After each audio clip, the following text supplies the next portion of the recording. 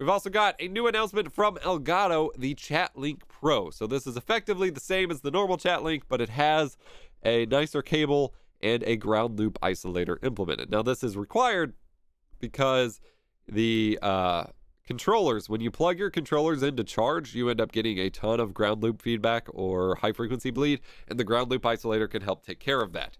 Uh, you your previous chat links, like someone was confused and really upset in the replies at one point. Yeah, uh, like the previous chat links will still work for PS5, but if you plug your controller in, you're more likely to get ground loops and things like that. So it's pretty cool to see, you know, that stuff happening. And this this this looks like a pretty baller looking option. The cable seems a lot nicer. Uh, so it should work. I've never actually used the chat link, but I also don't use console voice chat very much these days, so it hasn't been a huge deal for me, but just wanted to share the news regardless.